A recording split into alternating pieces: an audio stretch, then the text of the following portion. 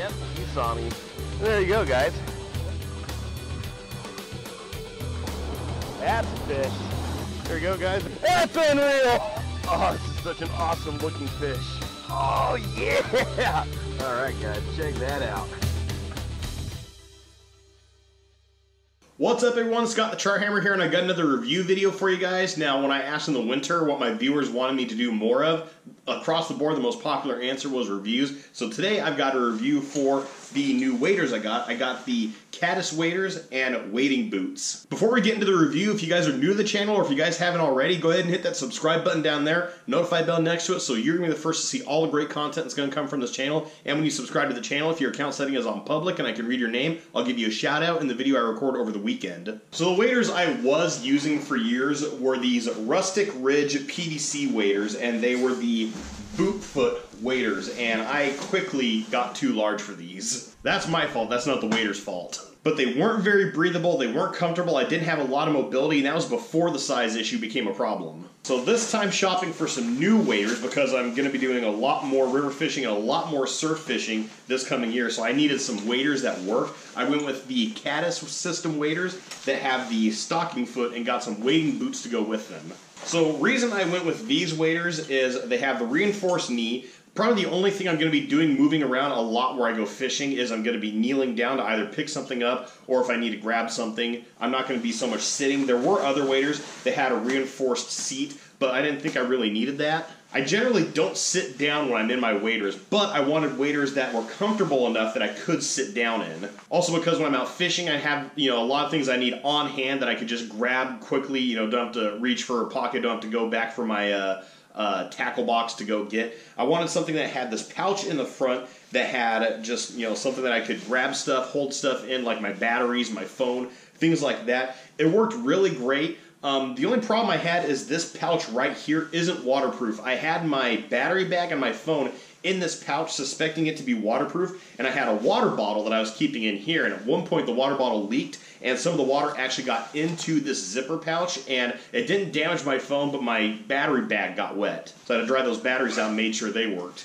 So the size I went with, I'm six foot three and 315 pounds. I'm a large, stout man, and even though uh, I would normally get that size in waders. I only went with the extra large. I didn't go with the extra large with the stout size with it because I really didn't feel like I needed it. These things are really comfortable as is. And they were breathable. I wore these things for three hours the last time I used them. Didn't sweat a bit. Also, obviously, didn't get wet. And the boots themselves, I went with a good pair of boots because I'm going to be fishing a lot of areas that have rocks and a lot of sandy areas. So I want something that would resist the abrasion and give me a good grip. So that's what the soles look like. And yeah, I went out on the. Uh, I went out in the bay clamming the last time I went out. I wore these waders and wore these boots, and with these boots, it was the fastest I was able to get out on the rocks. So often I have a problem because I have, you know, a history of back issues. I have bad knees. I have to take it slow getting out on the rocks. A lot of times it's because I can't really get a good grip. No matter what sort of like boots or shoes I wear, I'm slipping around the rocks, especially when I get to the ones that have been in the water longer and they had algae growing on them. They're a lot slicker. These things had phenomenal grip. I it was the quickest I got out onto the out onto the bay to do some clamming. You know, I am not going to wear these things when I go jetty fishing, but for clamming, that helped a lot. They also have these weep holes in the side to allow water to drain out, and they actually, I mean, they kept these things, these weren't heavy the entire time I was fishing. These didn't fill up with water.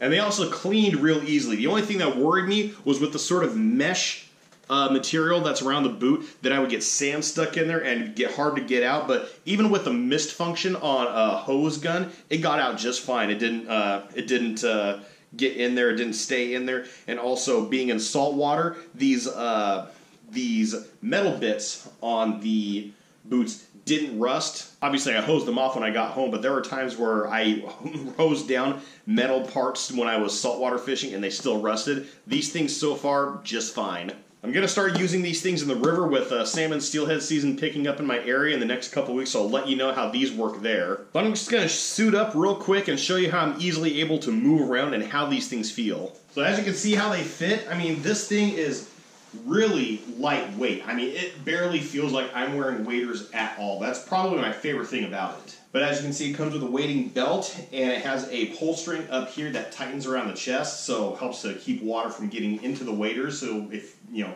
that happens to happen to you, the waders won't fill up with water and you'll drown. But obviously, the biggest thing I was looking for with a set of waders, not just the way they, not just how big they were and if they fit me, but mobility. I wanted to be able to move around in waders, and I can go down into deep squat in these things comfortable. I don't feel them stressing in any way. I don't feel like my body's getting pinched in any way. I can bring my knees up high. I can go down to a knee on either leg, and I mean it's it's comfortable. It allows me to move freely. There's nothing restricting my motion.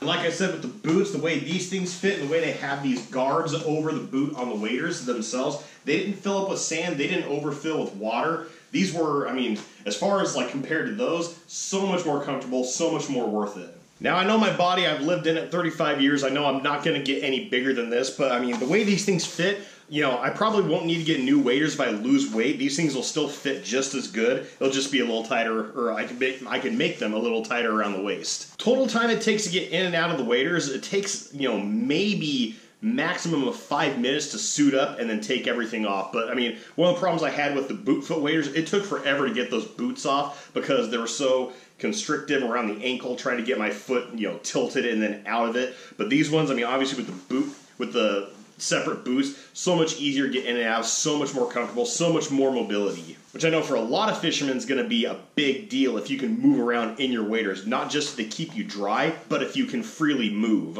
Might actually try running in these things. The waders also came with two repair kits with instructions, so God forbid something happens to the waders and I have to fix them. You know, they give you that option too, two times to do that. Hoping that doesn't mean they expect them to rip twice, but just in case, thank you. So overall, I'd give the whole wader system, you know, I'd, I'd, give the boots five stars. Those things were super comfortable, and I am super picky about my shoes. I'm one of those guys who's not afraid to spend you know, a lot of money on his shoes for comfortability. The waders themselves, I give a four and a half star rating because, like I said, one of the disappointing things was that uh, zipper pouch wasn't waterproof. If that thing was waterproof, it'd be five stars. So overall, you know, wader system gets you know like four and three quarter star rating for the the waders and the boots. But let me know what you guys thought down in the comments below. Let me know if you guys have the same Caddis waders or if you guys have different ones. I want to know what you guys think and if you guys have any suggestions to pass along. Also, if you guys haven't done so already, do me a favor, hit that subscribe button down there, notify bell next to it, so you're going to be the first to see all the great content that's going to come from this channel. There's going to be more reviews coming, and like I said already,